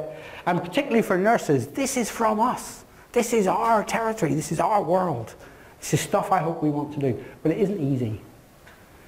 But it is possible. And I think you need to hear that it's possible outside the research. A lot of research quite rightly gets criticised. In the rarefied atmosphere of research, things happen. But when you go to the real world, it doesn't. We have wards that have done all 10 interventions. And the first one, and we know this because we thought, oh shit, how are we going to find out? And I came up with a brilliant idea of let's give them a plaque. The first one can show us all 10, we'll give them a plaque. And that way, we'll know if anybody's done all 10. And it worked. So Keats Ward got the plaque. And they did it with... Now, how long do you think it took them, those 10 interventions? Give a guess. A year. A year? Two years? Shorter than that, actually. Six months? Six months. Thank you. I mean, yeah, and if it had been a year, two years, does it matter? No, of course it doesn't. You know, we didn't put a time frame on it. They wanted the plaque, obviously, but, you know, it took them six months even so. And the one they left to the end, clear mutual expectations. Our gentleman here, absolutely, a lot of people look at that and go, ooh, we'll leave that one to the end, you know. But that's it, and you can see the pictures there to prove it. This is, um, it's a female uh, ward in Manchester, part of the Salford Meadowbrook Hospital. I can't remember the ward, particular ward. I, so Keats Ward is Meadowbrook unit. Lovely, lovely ward manager who's now, of course, been promoted. That's what happens to good ward managers, can't keep them in post when they get sacked. Uh, so there's, there's the 10, that's, I think that was the soft words. They went a bit bananas and put them all up, so he said, calm down. That's, uh, that's a teaching session around uh, talk down tips. That's their comfort box. And somebody asked if you could get your own stuff. We certainly don't provide baby princesses. That's not from us. So this is their discharge message tree. This man has just the loveliest smile. If you, go, you can't really see it there. You go on Facebook. He's such a friendly face. He really has. And he was their champion for Know Each Other. And did a brilliant job. So he put his picture up. But they did all 10 interventions. They got all 10 up. Took them six months. Hard slog. Second was a PICU in Wales. They also took six months. We gave them a certificate, you know, run out plaques, you can only, um, and that's, and you'll, I've got a quote from Sian later because Sian actually had to move on after that and I'll show you a quote from her, which is kind of a bittersweet one. But it's interesting because she always claims that it took them longer because in Wales, I don't know if you know this, but all public posters have to be displayed in two languages. Yeah, so that's their mutual expectation in Welsh. Do you have to do that in Ireland? Is that, oh God, okay, so we're going to get Irish mutual expectations. Oh, you don't? Oh, it's law in Wales. Law in Ireland as well. Oh, is it? Oh, well, the Welsh are, It's only official documents. All right. Oh, the, Welsh, they're, you know, Jesus can't go there. Oh, when I went there to do their talk, I had to learn some Welsh, you know, Diolch am croeso ganeth. I, said, I went actually to say, thank you for the warm welcome, but I actually said thank you for the warm girl, apparently. They all, they all burst out, they all bust out laughing, oh, and I was going, that went down well. It was only afterwards somebody said to me. Anyway. And they never did give me a warm girl, but there you go. So that's, uh, right, okay, I want to, I want to, okay, so we have it, but what, what, what this, and I said this throws up stuff for staff, and it is important. One of the things we noticed even as we were doing the trial is that there are a variety of responses, all of which I think are quite normal. You know, I'm not, I'm not again, demonizing these, but let's start over here. Resistance. Resistance is the worst. You know, resistance is we ain't doing this. We already do it. You can't come here and tell me how to run my ward. Uh, you go into the, uh, to the ward and you find that the penguin's been taken out of the comfort box and stuffed in a hole in the ceiling. Um, you know, or you give the discharge message tree and you come back and they can't, it can't be found. You know.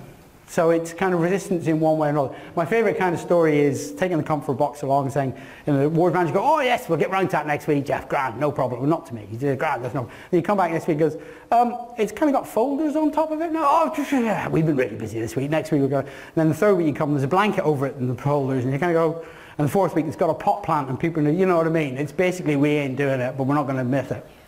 So resistance, we, we saw that. I think what was interesting is people didn't resist all 10. They kind of resisted certain things or certain things hit certain blocks. And one of the biggest things from resistance, and I think this is quite fascinating, is know each other. Staff, a lot of staff find filling the know each other sheet in incredibly difficult. It will, if patients have this information, they'll use it against me. It's, it's a real fear. And you know, I'm not going to laugh about it, or I'm not even going to say it's awful, but it is worrying for me. Because you, you saw the kind of stuff I was happy to share. And you'd think, how could a patient use that against me? Oh, you like punk music. Oh, I'm shattered. Do you know what I mean? And we've even had staff say things like, if you start down that pathway, you could end up being stalked. There's a real paranoia, yeah, it does. And, and what we said, and there's a little video talk about, if that stuff comes out, you've got to kind of talk about it. But I think you've got to say to people, how can you talk about having a, you know, we are united in care, we're all part of the same care to a patient, if you're not prepared to tell them what your favourite film is? I mean, how can we talk about? How can we ask patients to share their intimate details with us in any way, shape or form if we can't share even that with them? So, you know, resistance is there, it, uh, abandonments, you know, oh yes, all gung-ho, and then suddenly CQ, we have the CQC, a load of inspectors that turn up and everything gets stopped. and then never started again. So we had a lot of that. We had a lot of kind of people starting off gung-ho, or somebody would leave. You know, the champion who led it, and then suddenly I'm on maternity leave, or I've got another job, and it all falls flat. So we saw some of that. And we saw ambivalence, uh, you know, real kind of um, a lot of ambivalence to the point of saying, we're, look, we're doing the intervention, but when you look at it, it's not quite the intervention. So we've got know each other sheets and they're up on the wall, but they're all staff and they've got photographs and they're really detailed. Are, you, are the patients, can, it, that's not know each other, that's tell the patients who the staff are. That's a very different intervention. Or we have discharge messages that are all, the staff are brilliant, I love the staff here, aren't the staff great, trust the staff, they're wonderful, um, oh God, the doctor's the best, you know, and you kind of go, okay, advertise, you know, where's the one of grit your teeth, you know, whatever. So ambivalence, but I think it is important. We did see it. We did see adoption. So the nursing responses you should expect, and I think you should specifically expect resistance and be able to spot it in whichever way it comes.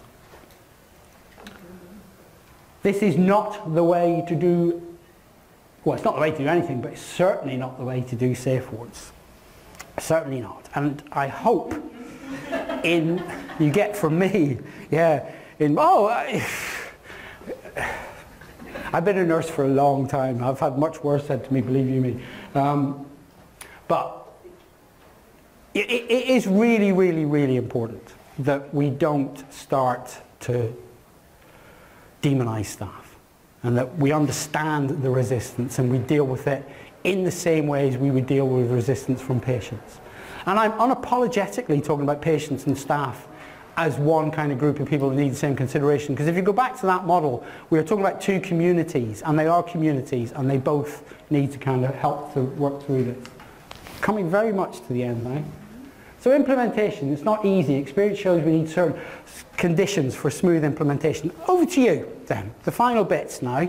So what things, if you were kind of thinking, I'd love to kind of go out there, I'd really like to think about introducing Safewards in my unit, my trust, my my ward, my organisation. What things do you think would be, you don't need, you don't, they don't have to be there, but it'd be really helpful if they were there. What, what kind of things need to, need to happen?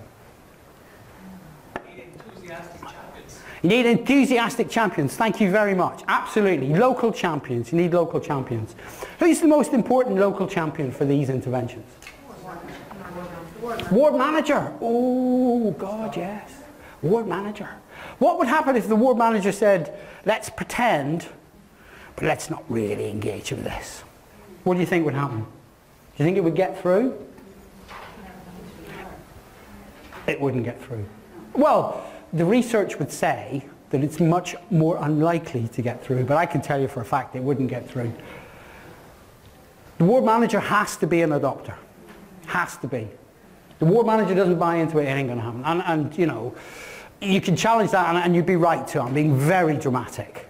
But I, you know, challenge me. I would say, show me a ward manager who hasn't adopted an intervention where it has happened. Where somebody underneath them has said, I'm going to ignore him or her and I'm going to do it myself. I'm going to get the staff, we're going to do it. We don't need to talk to them. It's not how ward managers roll. But ward managers can you know, uh, well, I'm not going to lead this, I'm not going to be the local champion, I'm not going to drive it, but I'm not going to get in the way. And I'm going to appoint somebody and say, look, you take it on, I'll support you. That works as well. Yeah, that's fine. But you need the ward manager to buy in. If the ward manager starts turning up and saying things like, oh, I don't know why we're doing this, oh, bloody soft words, what's that all about? We already do it. Believe you me, the interventions will start to fail.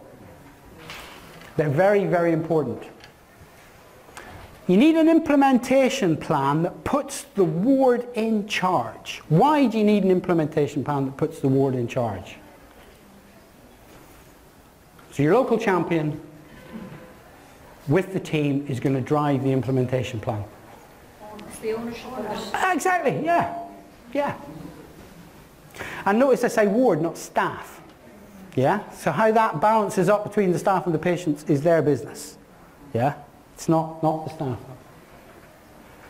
Gradual introduction, we've already kind of thing is forget the eight weeks. You're talking about months. If it takes year, a year, if it takes years, who cares? And to be honest with you, what are you going to do when you get to the end? We've got all 10, what are we going to do now? Well, there's a hundred others you can have a crack at. Or you might want to adapt stuff. You might want to do your own research. You might want to do, well, you can do whatever. It's your ward. How many people were able to create that?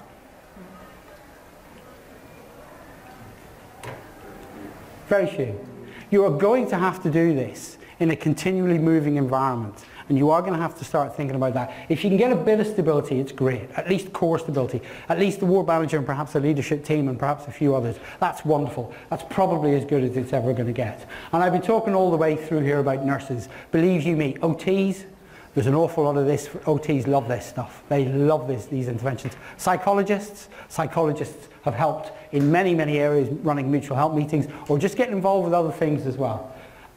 Psychiatrists, I know we all hate psychiatrists, we're nurses, it's almost in the genes. But, but, think about bad news mitigation. You need to be talking to your psychiatrist about that. They need to be involved. A lot of bad news comes from that door, not them, that door, because we make them say the bad news. So we need to get them involved as well.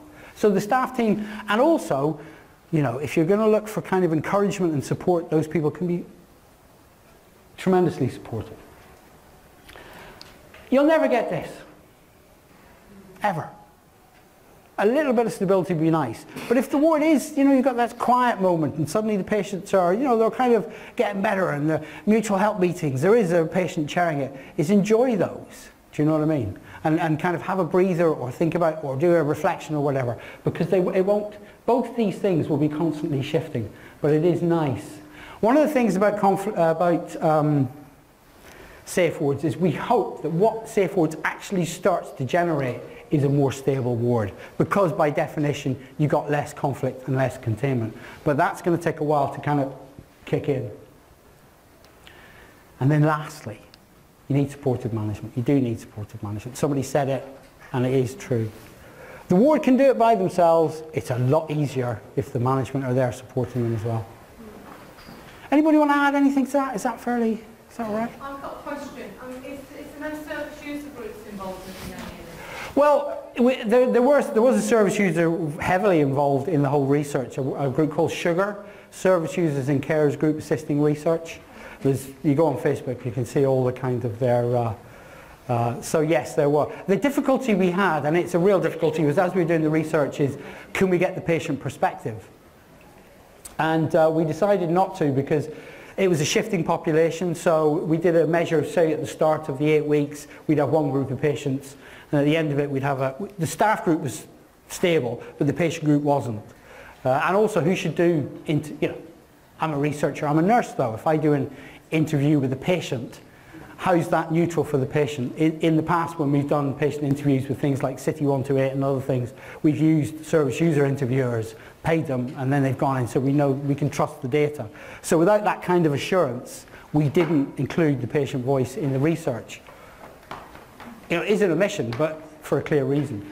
I think in terms of the implementation and the devising of the interventions, though, of course we had Sugar helping us, uh, and uh, and um, Sugar's kind of attached to East London, so service user groups within East London.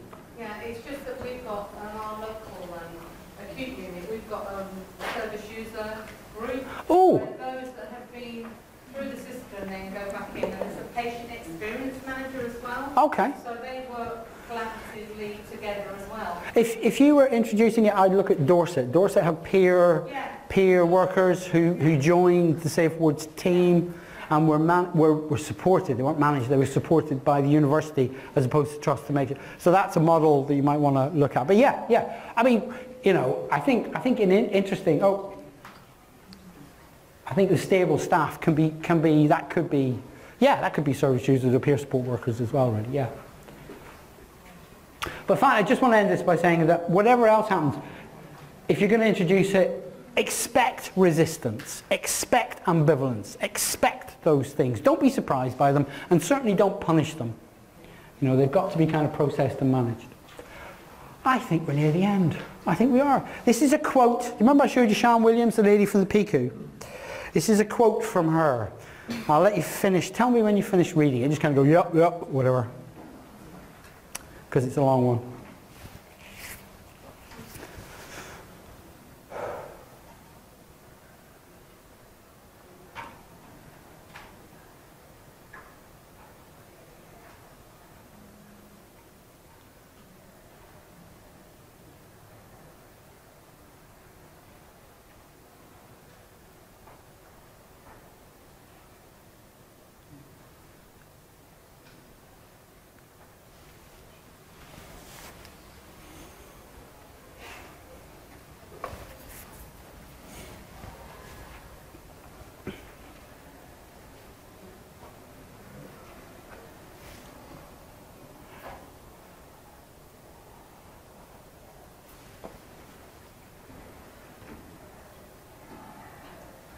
Finished?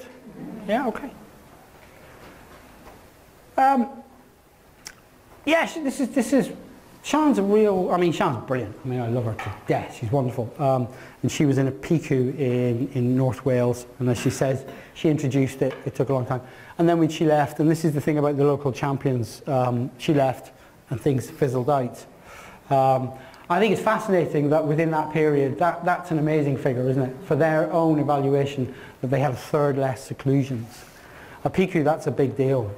And it's also fascinating that when she went to the private hospital, there were patients from the PICU who were kind of going, let's do Safewards. And it wasn't the patients, your question about patients, it wasn't the patients that were blocking it there. It was, well, it was the system. But it's also, you know, the management going, yes, we're going to do this, we're going to do this. It's a management thing. And it just, I mean, if you want to engender resistance in inpatient psychiatric nurses, make it a management top-down initiative with a time frame on it.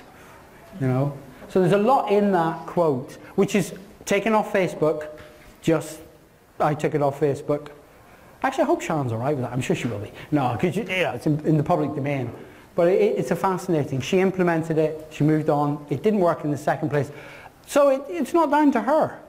You know. Do you think preparation for implementation is key though? Oh yeah, well yeah, yeah. Sorry, I'm, I'm you know, like dismissive. The, the educational piece and the buy-in from staff, but a lot of efforts need to be put into that before the Yeah. interventions. Yeah. You want somebody doing what I'm doing now to the ward staff. Yeah. You want to give them the same kind of buy-in, understanding, knowledge, say where it came from, explain to them that it's been tried out, that other wards have done it, that they can go onto Facebook and see people going, oh, how do you do soft words on a children's unit? You know, uh, it's fine to struggle to, to not understand. Take some time, read it, look at it. There's, there's education clips on the website. There's a, there's a video of Len doing the research in Melbourne, doing a research thing. You know, it's much more entertaining than this, you know. Not. Yeah. Well, it's all, yeah. No, actually Len is, Len is very passionate about this and it is entertaining, but hey, you know, the boy from Armagh, come on. Anyway, but yeah, but I think you do, yes. You don't go at it gung-ho. And of course, what I would say to you is that's 10 interventions. Really sit down and sit down with the war staff at the end of all that say, so which ones are we going to go for first? And that's where your three questions, what do you like, what's hardest, what do patients want? That's where that'll help you start thinking, what do you want to do first? Do you want to do one first? Do you want to do two first? Do you want to do three first? Do you want to park one and say, oh Jesus, we'll get to that one when we're into it a bit and we're all enthusiastic, we'll bring that one out of the cupboard and go, how the hell do we do this? Do you know what I mean? Let's get the, let's get the momentum going. So the preparation, the thought, the ward really engaging with the whole process. And that's what Siân did in, in this.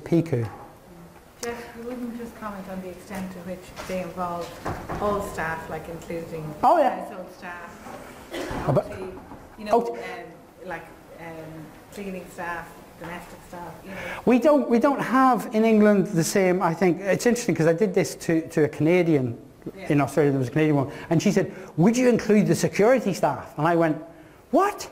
What security staff? They have security staff on their wards. You know, when there's things kick off, they call the security staff in, you know. You know, I was saying, God, yes. But and a lot of them, they were acknowledging, were brilliant de-escalators. I was saying, oh God, yeah, you'd want to bring them in, but you'd also want them to teach everybody how to de-escalate then, you know. So yeah, I mean, whatever your con- con- confection of staff is, yes, you'd want to do it. We don't have cleaners as much. We don't have, you know, it's kind of companies and stuff. But if you have somebody who's regular, I mean, OT, psychology, the, the core team, definitely, the patients. Um, people have done it on dementia wards and they've included the carers big, big time. And there's, there's subtle changes that they've done, which, which is fine, it's their area. Uh, yeah, and, and they've, instead of the discharge tree being for the, they, they've got it from carers to carers, which is, you know, that's fine. So yeah, there's ways in which you can adapt it. Geoff, we have a, well, we, lots of lots of, lots of places around Europe and that, I've seen lots of places where Safewards were, were implemented in, in, in Northern Europe and Scandinavia, for example. We're very good at checkboxes here. You mentioned an example there when the commission come, you know, you, Yeah. working and they go, we, we do, we, we know the commission are coming here as well, and we do, we do stuff to, uh, to look the right way. So if you were to give, um, it's possible to present this in a checkbox way. Yeah, So And we if have- you we have- to offer some sort of insight into uh, how to do this in such a way that it's not a checkbox or a tick box way. Um, I think, I think, the- What's the key to not becoming that? well, I think the key thing is the time frame bit. I think once you put a deadline on something and says, you know, you can put, say, we're going to start from here. But I think your, your time frame has to be sympathetic. You know, it's not kind of, and by January we will have two interventions, and then by March we'll have another two. I think, and I think you need to chart the pathway and say, and these markers can change depending on, but the conversation goes on. So why are we shifting the marker? Actually, you know, we've had a very stable patient group. They're about to all be discharged. You know, perhaps we want to, you know, we need to relook at know each other because we're going to have a whole load of new, whatever, you know. Um, but, but, you know, if you go on our website, there is an implementation plan and a plan has to be there. But I think it's that thing of the ward is in control of it. So nobody's turning up saying, you've had a year, we've got to report to the trust board, and by then we have 100% of all wards must have Safewards. If you're having that kind of language, you're going to get resistance. Or you're going to get another thing, you're going to get gaming. And gaming is where people say, yes, we're doing it, but they're not. And they know they're not, but they don't want to get penalised and criticised. And once the tick box, check box goes away, yes, we've done 100% Safewards, and the train moves on, they can say we can drop that now. And it's the kiss of death to, to implementation. See what I mean? Yeah. But I think the key thing is if the ward is in charge, the ward really is in charge. But there's no harm in somebody coming back and saying, let's have a little MOT. Where are you all? And if they've stopped, it's, okay, let's look at that and let's move it on. Why have you stopped? You shouldn't have stopped. You know, the, you know, or whatever.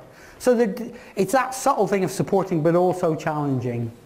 And, you, and if I was a manager, I'd particularly saying, you stopped, why wasn't I informed? I could have come down, we could have had a conversation, we can overcome the barrier, we can look and see what's going on. So it is about sympathetically th doing things rather than anything else. Does that make sense? Okay, I'm finishing. I'm finishing! Yes, one minute to go. Safewards. Uh, this, is the fi- this is the final two slides. Safewards is available free to all. It doesn't require training or a certificate or an audit. It really doesn't. This is a lovely quote. This is from a Canadian nurse who, who's implementing it in Ontario from the web. She said her quote was, "It like to fire in staff and not on them." I think that's really nice. And none of it means it's easy to implement.